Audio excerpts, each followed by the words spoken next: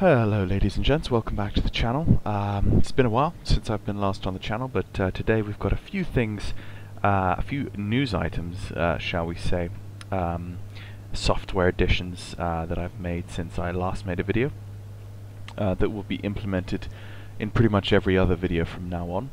Um, uh, today we're flying a bit of a challenging approach. I've only just seen this recently. If I just disconnect and try to reconnect and hopefully, yeah, uh, you can see I've been spamming around a bit before. But uh, this airport here, ENSR, has a incredibly offset uh, localizer, as you can see. So we're going to go over here and have fun with this localizer um, in the gloom. Uh, we're currently, uh, we've currently just come out of Tromso.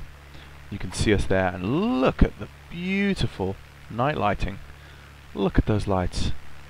That really is incredible. Um, I am really, really loving uh, all my scenery. Particularly northern scenery. And you see the little um, boats down there? Very cool. Um, so, the new item uh, for discussion this evening, folks, is uh, chase plane. Chase plane, uh, let me just do that. Yeah, chase plane is uh, a fantastic new camera add-on. It works pretty much in alpha exactly the way EZdok has been working. So, you know, if if it's working as good as EZdok and actually better than EZdok in alpha still, then uh, there are fantastic things coming. Um, I was going to do this video this evening in the Cessna 172 but for some reason the autopilot system wasn't working correctly. Maybe it's because I've been thrashing the 172 uh, through my, um, putting it through its paces in the uh, PPL training course. Uh, so we're just going to give uh, the 172 a bit of a break. I'm jumping in the 182. I was also going to do this in the uh, Texan because I haven't done that much uh, video for, um, video content on the Texan. Not as much as I've I would have liked. Uh, there are reasons why I haven't done more videos recently, but I am actually making uh, very good uh, progress with the the next PPL series. Uh, that might be a housemate coming home. Uh, never mind. Um, so, as you can see, my view in the cockpit is uh, I have my middle mouse button and that's clickable and draggable just like it is in EZdok but this isn't EZdok um, this is Chaseplane. So if I bring up Chaseplane here in the toolbar uh, here we go. Here's Chaseplane. Um, I have not got anything any presets set up for this at all. Uh, I've only got uh, let me see if I go to camera no if I go to preferences nope evidently not. Oh this is the way it does works. If you want to set up new camera pre uh, new camera views, you could go to the import presets. And since I already have the C the A2AC 172, if I hit all, that should bring all the views that I have for the 172 into the 182. But you ask, Mantok, that how, how can that be? How can that be? Because um, it's it's, it's you know, how how does that work? It's importing, you know, one camera set from one place to another, you know. Uh, but it works because the cockpit layout in the 182 is not too far removed from the 172. There's a few things that I'm doing here. I'm just setting up some, that's a thousand to go, I'm just setting up some uh, adjustments to the views.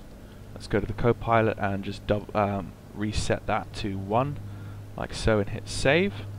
Um, so temps and pressures, that's fine. The switches, that's fine. Let's go to the outside view now. And let's uh, import all of the 172 views. Um, and that actually is doing pretty well. That's the front, that's the left, and that's the back. So really, really quickly, we've just pulled in um, camera uh, views from another aircraft. Um, so we've not actually had to set anything up, we've just imported all of it. It's fantastic. Um, so if I actually went, click that again, you see I could pull in, these are uh, these are only the, the aircraft that I have um, actually configured in the in the EZdok in in chase plane. I've got to get used to not saying EZdok now. That's going to be annoying. Uh, so I've basically just used the 172. Um, but depending on what aircraft, it's it's really helpful because if you're, say, if you're in the uh, the, the Airbus uh, 319 and you've never used the 320 yet, so the first time you ever go to the 320, well, you know the cockpit layout is exactly the same. You just import the 319 cockpit into the 320 and bam, voila, if you've already got those uh, views set up in the 319. So that's uh, that's a really quick introduction to Chaseplane, um, and you can see the transition between these views is all lovely and smooth and, and completely beautiful. Um, and also, of course, you just uh, set a key binding on your joystick or whatever um, to change your views whenever you need to, back and forth and back and forth, just like you would with uh, Chaseplane. And then you have another dedicated button that you can uh, swap camera groups this time to the outside you can see and then you uh, use those same camera change buttons to change in and out. But one of the most coolest things that you have with Chaseplane that you've never had with anything else, and I will go to it here. If I go to from the presets, this is where you would normally click on your different things. If I go to camera on the sidebar here, you you have control of all the camera presets. So you can do roll, you can roll the camera, you can tilt it, you can change the focal length, all that crazy stuff. I'm just going to reset it by clicking to back and it will reset the camera. These um, tabs up at the top are what um, I'm I'm interested in right now. The world tab, the world camera is not yet implemented because this is uh, still alpha, so things are still being added and so forth. We see the green uh, button is the outside view, that is the meant to be the inside cockpit view, and this one here is cinematic view. Check that out. So what that's doing is that's actually taking really nice slow panning shots outside the aircraft of the exterior. So basically whenever you're in cruise you have this really nice looking set of uh, preset camera pans and camera slides that you just you just click that um, that Chaseplane. Yep, you see, and it just it just changed again. Uh, you just click that that button there, and it will set you into this camera view. Another cool thing is you can set this camera view. Let me just make sure I don't go too far. That's fine. Uh, you can set this camera view up so that when you hit cruise, say in a 737, and you're up at 36,000 feet, and you leave uh, the mouse alone, so you're idle at the computer for say 30 minutes, it will automatically switch from your, say, your cockpit view into this view. So it's really cool. You can see every 30 seconds, I think it swaps uh, and and and shoots a new view of the aircraft as it flies in cruise, and it just does really nice, smooth, slow panning shots. It, it adds a little zoom in as well and that kind of thing. Uh, and that comes in really nicely for previewing aircraft. So I'm going to go back to my cockpit view and we're going to start setting up for this approach into into ENSR. Uh, you can see where we are. We've just uh, come outbound from Tromsø. We had a little bit of issue, as you can see, with uh, with the 172. I was flying the 172. I, I, I flew out of Tromsø and then realized that the autopilot system wasn't working. So I basically just like flew manually around for a while trying to figure out how to sort that out. Um, I haven't figured that out yet but um, I will get that sorted. Is the one thing about uh, flight simming guys you know. Some of you guys who watch my videos think you know he only he only updates on the channel like once every you know three weeks at most. But sometimes you know you realize um, flight sim YouTubing is probably I would think one of the hardest um, one of the hardest videos to make as a as a YouTuber in a sense because the the flight sims that we use are so complex. The software upgrades the tweaks the bug fixes the you know there's so much going on. Oh, that's a lovely view. Check that. There's so much going on with the flight sim and the, the level of add-ons that you have that you are constantly tweaking, constantly checking and debugging and, and, and fixing things in the flight sim world that that you just you just never would have to to worry about if you were say a Call of Duty like YouTuber. If you're a Call of Duty YouTuber, all you have to do is hit record and get your microphone and your keyboard and your mouse and sit there and talk while you shoot. That is, is literally pretty much all you do. And show gameplay, but in a simulator you have to keep on top of all of your add-ons and how they integrate with each other. And yeah, so for every YouTube video I upload, there's always there's always tens of hours of tinkering around with things and, and doing my own offline flights. Um, I I've been doing a fair amount of uh, commercial aviation on on uh, on flight sim. You know, with the upcoming uh, Airbus A330, the upcoming um, PMDG 747 version 3, ah, and of course the Holy Grail, which is the Quality Wing 787. Those three solid commercial jetliner um, add-ons will be coming out quite soon, actually. Though I think all of them are in beta, ready to come out in within the next few months. I would hope. Um, so those, I'm kind of gearing up for those. Of course, A2A is is is uh, coming out with the Connie almost any day now, I would expect. So uh, stand by for a, a, preview video on the Connie.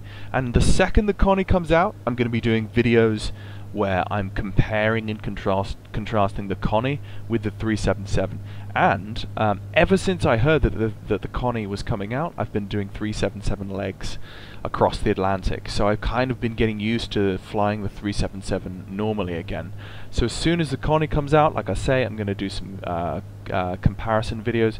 Also, I'm going to actually continue the series of videos that I was doing way, way back in the dawn of time when I first started my YouTube channel. I um, I begun with a series of videos on the 377. I am going to continue that series um, and uh, I'm going to start a new series uh, on the, the Connie, of course, but uh, the, the, the continuation of the 377 series will be how to properly navigate uh, and also how to properly navigate uh, on VATSIM. Uh, you don't see a lot of Connies or a lot of classic aircraft on VATSIM because I feel like a lot of people are just maybe a little bit afraid of taking such a such an unorthodox, shall we say, such an unorthodox aircraft out on VATSIM where everyone's expected to have an FMC and or a CDU, you know, where you understand SIDS and stars and stuff. I'm going to break that mold. I feel like um, I'm going to give the the 377 and and the Connie a bit of love and um, get them out on VATSIM, you know, make a bit of a, a, a nuisance of myself. So that's that's what's going to happen. So uh, as you can see, we're just coming up. The the airport that we're coming to is ENSR, just off our right-hand side. So uh, I'm going to fly towards these mountains and then take a right, just in there. Oh, so this scenery is beautiful. Check that scenery. So this is basically uh, midday. this is uh, midday, you say, Mantok? You, you silly, you stupid. Um, yeah, this is midday on the top of the world in winter. And we are essentially right on the top of the world. If, let's go and actually have a look at VATSIM and then I will show you why I am not flying on VATSIM right now. This is Scandinavia. Check that ATC action right there. Let's just zoom all the way out. We've got a few things going on. Oh, we've got a few things going on down in Australia. That's cool. A uh, few things over in the States, of course. Lots. It is Saturday night, by the way, guys, so that's uh, a lot of things are happening. Uh, but check that Scandinavian action there. Look at the, the amount of aircraft across Scandinavia is, uh, is incredible. And you can see Tromso, which I was I was originally wanting to do Luton to Tromso. Why? It does EasyJet even fly Luton to Tromso? I don't even know. Um, I was going to do the flight online, but then I actually logged in on the ground at Tromso, and literally, it's a jam. It's so jam-packed on the ground there at the moment. I mean, Tromso is not a large airport by any means. See how many inbound and outbound. See how many inbound aircraft there are there. Uh, so that's why we're not doing that. Ooh, little bit of a, a twick, uh, a little bit of a twitch there from our our autopilot. Let's just check that our pitot heat is on. That was a bit of a f uh, it's minus 10. This, we definitely should have had our pitot heat on. Sorry about that. Yeah, we closed our um, our shutters as well. So what we're going to do is we're going to come in here. Let's just check what the uh, localizer is. Uh, 1093. So let's just set that in uh, 10930. Uh, enter. Let's hit that. And the next thing we'll do, and that is that is going to appear on on here. Our course is uh, 186.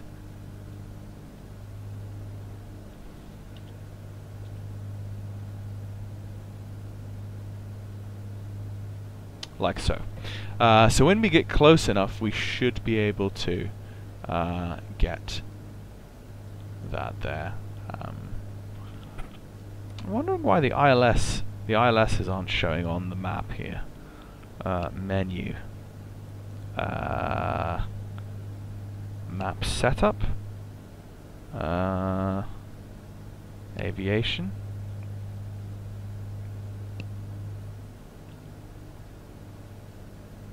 Um, no, I'm not, not seeing. Airspace. Traffic. Weather. Nope. Huh. Uh, airways. No. Off. Charts. Traffic. Uh, I don't know. Anyway, I'm not able to see the uh, the the localizers and glide slopes for the airports on on the 750. I seem to remember I was able to, but maybe not. Okay, I'm just on uh, simple heading hold right now, um, as you can see. Uh, let's just bring down.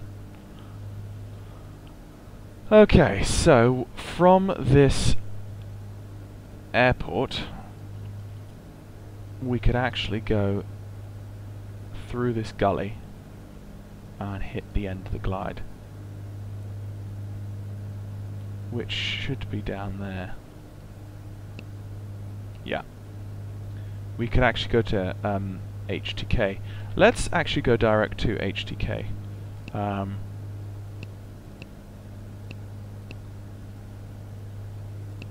activate, and then let's hit uh, let's hit nav. Yep, and it's already on GPS, so it will make that alteration.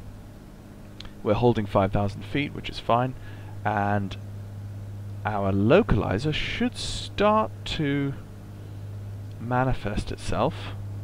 1093, let's just double check our, yeah, 1093.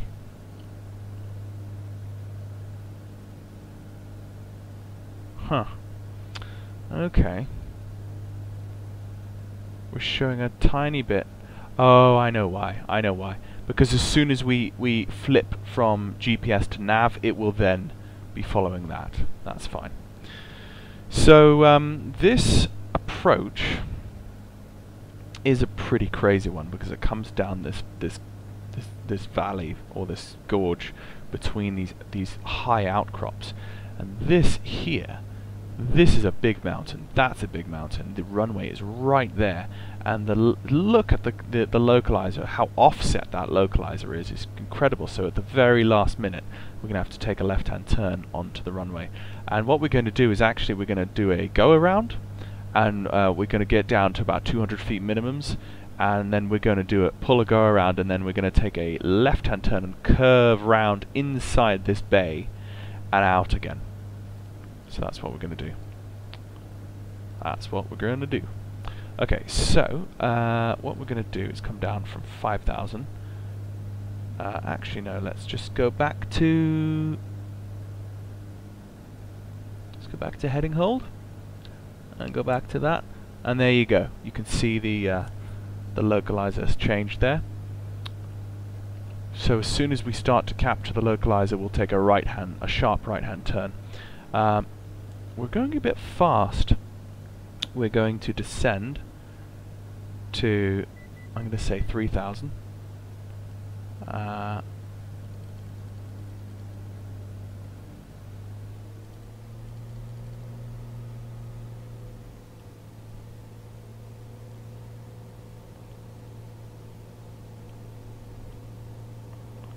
Whoa! And that is the turbulence off that mountain, most likely. The all of this mountain range here. We're gonna we're gonna hit bad air. Definitely we're gonna hit bad air as soon as we start coming close to any of these mountains. It might you know what? I'm gonna pull out the autopilot and I'm gonna have fun by flying this entire thing manually. So yeah, uh, I gave you a little intro to a chase plane there.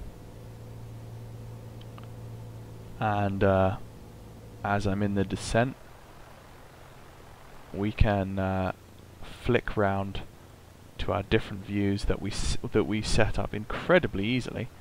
There is the runway off to our right hand side and you can see how far off the center line we already are but yet we're still not, look how much we're bucking uh, and yet you can see we are going to have a 17 knot tailwind actually, so it's a good thing that we're doing a go around. This would never actually work in real life as a real approach. We would actually have to come in the, the opposite runway.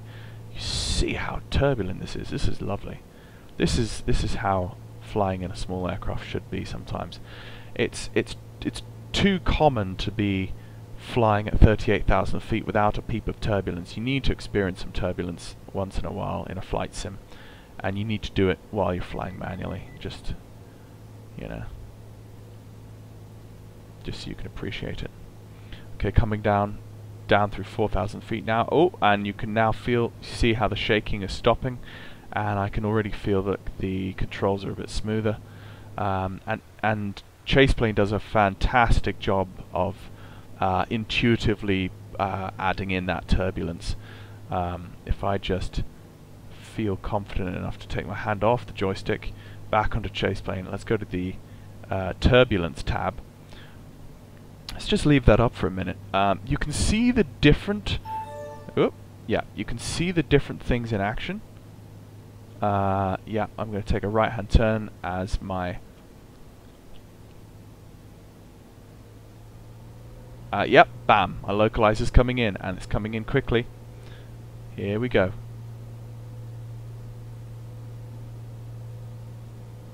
and I've overshot it at this point but that's okay because I'm on it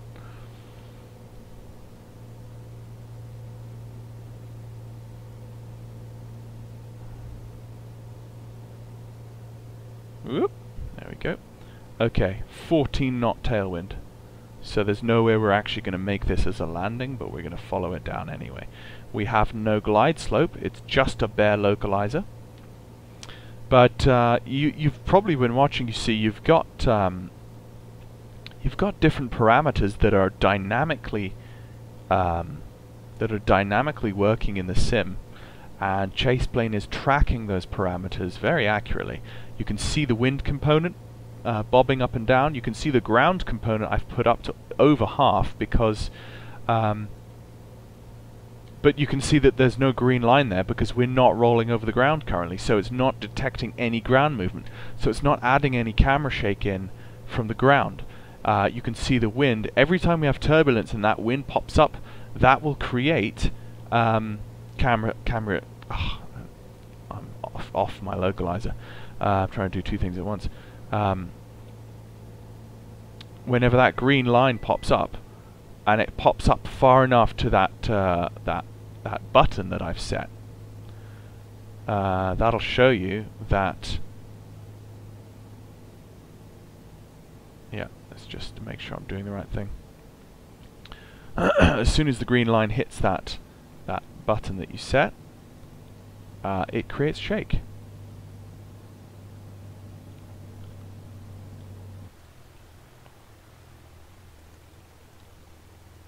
So down we come. Oh, I definitely would would would need to make this. Um, let's have a look at, at. Yeah, this is incredible. I mean, I'm doing the right excuse me, I'm doing the right thing, but this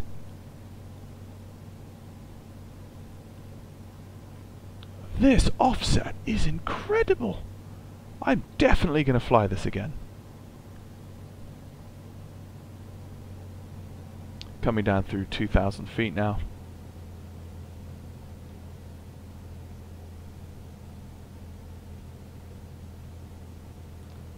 And wind is getting a little bit easier to deal with. Still a 7 knot tailwind.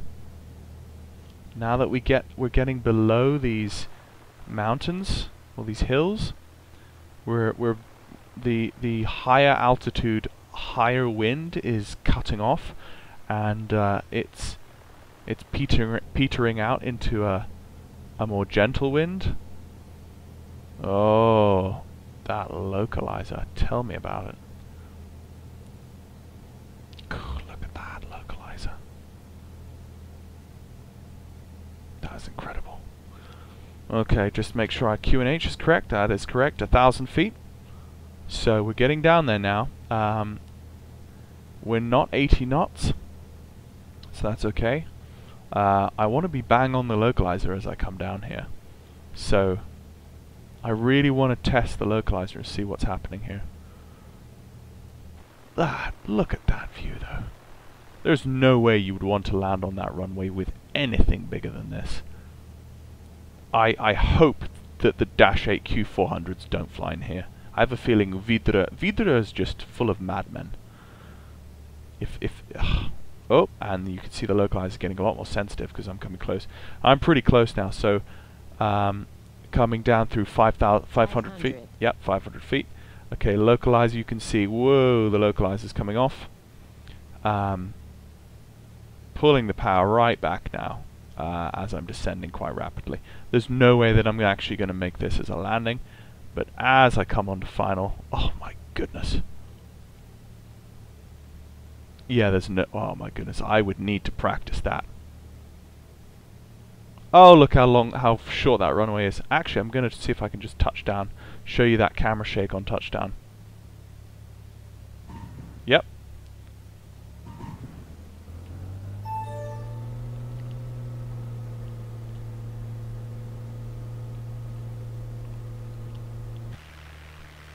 Okay. Pull up, climb at 80 knots, do a left hand turn, and out we come.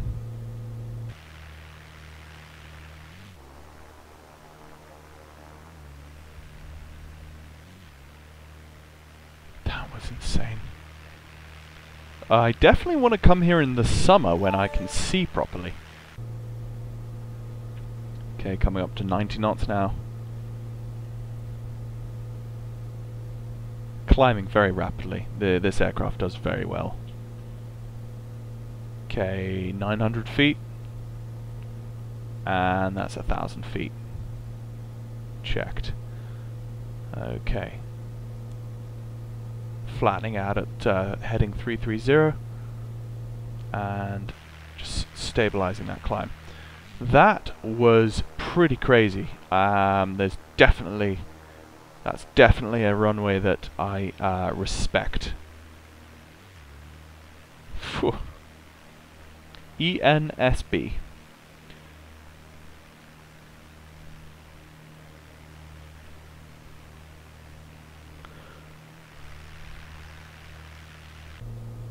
So at this point, folks, um, I could definitely um, fly back to Tromso, but uh, in for the interest of time, I think I'll cut this uh, video short, and I will get back to video editing as the sooner the PPL videos come, I think the happier you as a community will be. Um, so I'll just wrap up uh, quickly by saying, really, really looking forward to um, the A2A Connie. Uh, I'm to fly the backside off that thing. Uh, looking forward to comparing it to the uh, looking forward to comparing it to uh, the 377. My voice is starting to go now, but it should be okay. Um, and yeah, and chase plane as well. Uh, it really, it really is something worth getting if you're serious about flight simming. And of course, once they add uh, TrackIR uh, support, which they're going to soon, uh, all should be well. Um, so there you go. That is that is a wild, wild offset localizer approach to a runway in uh, northern Norway, inside the Arctic Circle. Actually, guys, this is where we are, inside the Arctic Circle, northern Norway in December, uh, at the middle of the day. so thank you very much for watching, folks, and I will catch you soon on uh, hopefully a Connie first look video and uh, also another PPL uh, training video coming soon to you. Bye.